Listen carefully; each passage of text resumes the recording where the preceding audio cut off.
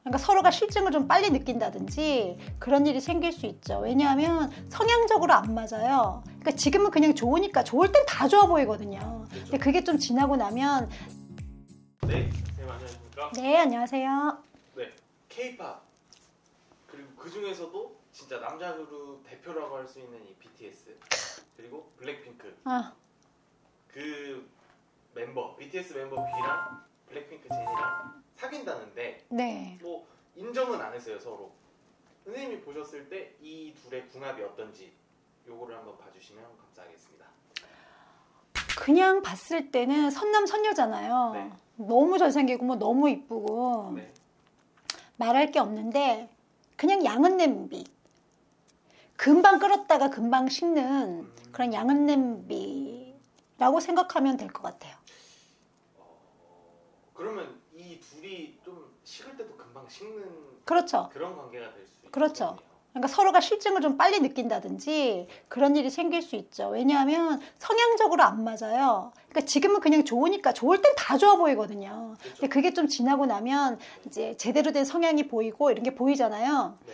그런데 제니 씨는 보면은 물론 뭐 얼굴 미모야 말할 게 없고 뭐 못하는 게 없고 막 그렇긴 한데 또 이제 제니 씨가 보면 이렇게 성적 매력이 굉장히 이렇게 강한 야하다고 야하게 보인다고 성적 매력이 있는 건 아니거든요. 근데 이분은 자체가 남자들로부터 호감을 받을 수 있는 성적 매력이 굉장히 이렇게 큰 분이에요. 어, 음, 그래서 당연히 인기가 많을 거고 그렇긴 한데 굉장히 현실주의자예요, 또 이분은. 제가 봤을 때, 네네. 네. 현실주의자고 웬만한 거는 그러니까 그분이 나빠서 그런 게 아니라 성향이 나를 좀 챙겨줬으면 알아서 좀 나를 좀 챙겨줬으면 하는 이런 게 좀 강한 분이거든요. 그런데 B 씨도 똑같아 마찬가지로 현실적이긴 하면서도 또 여자 쪽에서 나를 좀 챙겨줬으면 하는 또 그런 바람이 있는 분이거든. 그러니까 처음에 좋을 때는 그냥 좋은데 시간이 조금 지나면 서로 생각하는 차이가 있다는 걸 금방 깨닫게 돼요. 이 사람들은 왜 현실적이기 때문에 감정보다는 현실적이기 때문에 이 관계가 음. 아주 뭐 길게 오랫동안 유지되지는 않을 가능성이 높다. 그렇죠. 오히려 차라리 자주 안 만나면 길게 가겠지. 근데 자주 만나다 보면 현실적인 사람들이기 때문에 바로 인지를 하죠. 아, 금방 식어가는. 음, 아, 알겠습니다. 이 그 B 씨도 분명히 이제 군대를 갔다 오게 될 텐데 그렇죠. 군대를 가게 되면서 서로 이렇게 헤어질 가능성도 있죠. 있고 그 전에 헤어질 수도 있고. 아 군대 가기 네네네. 어, 알겠습니다. 둘이 성향이 네. 같으면서도 너무 틀리기 때문에 그리고 둘 다 현실적이기 때문에 이런 분들은 감성에 막 도취되고 이렇진 않거든요. 근데 그렇게 보통 현실적인 사람끼리 만나면은 음. 좀잘 끊어지는 편인가요?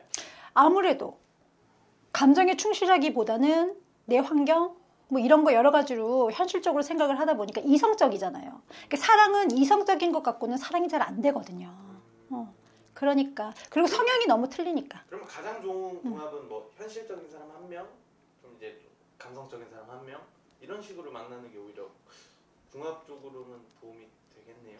예, 그리고 보통 사람이 보면 이성적이다, 뭐 감정적이다 이렇게 나누기보다는 그런 걸 좀 이제 겸비하지 두루두루 음, 사람이 사람마다 감정도 있고 이성도 있고 이렇게 되는데 사랑을 할 때는 감정이 조금 앞서는 경우가 많잖아요.